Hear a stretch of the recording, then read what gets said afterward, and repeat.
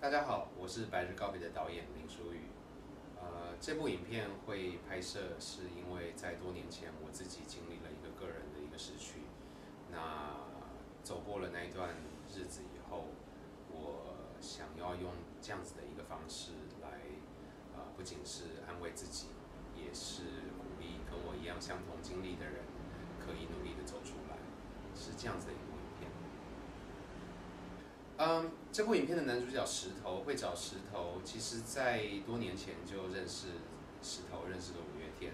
然后也有机会在音乐上面帮他们拍摄 MV 的一个合作。那其实那时候我就非常注意，呃，这位吉他手，我一直觉得他是非常有戏的一位演员，非常有魅力的一位演员。然后我一直觉得他是可以担任呃一部影片的男主角的。那在呃。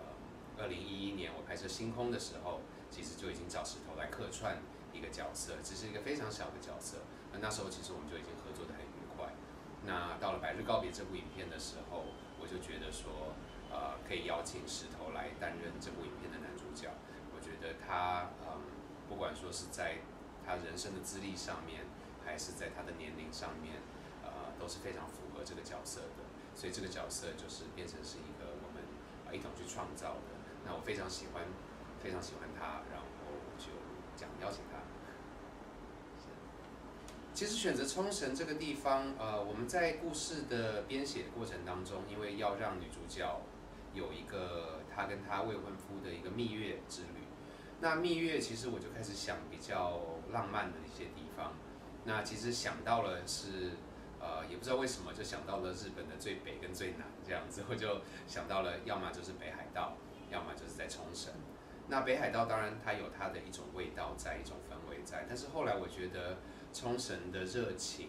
冲绳的热闹、冲绳的一种呃呃欢乐感，我觉得这样子的一个很亲密的一个关系，可能刚好会跟女主角的心境做一个很好的一个对比。所以后来我们就选择了说，我们把呃这一段蜜月旅行拉到冲绳去拍摄。啊，我非常开心，《百日告别》会在日本在二零一七年的二月正式的上映。嗯，我觉得《百日告别》这部片，呃，不管探讨生死，还是在对于离别告别，呃，这样子的一个议题，我觉得日本观众跟台湾观众的情感，我觉得是非常接近的。那我相信，嗯，这部影片其实在日本一定会呃打动非常多的观众。我觉得那个。同身受那样子的一个理解的程度，所以我非常非常的期盼这部片片子可以给日本的观众带来呃非常多的疗愈，非常多的安慰，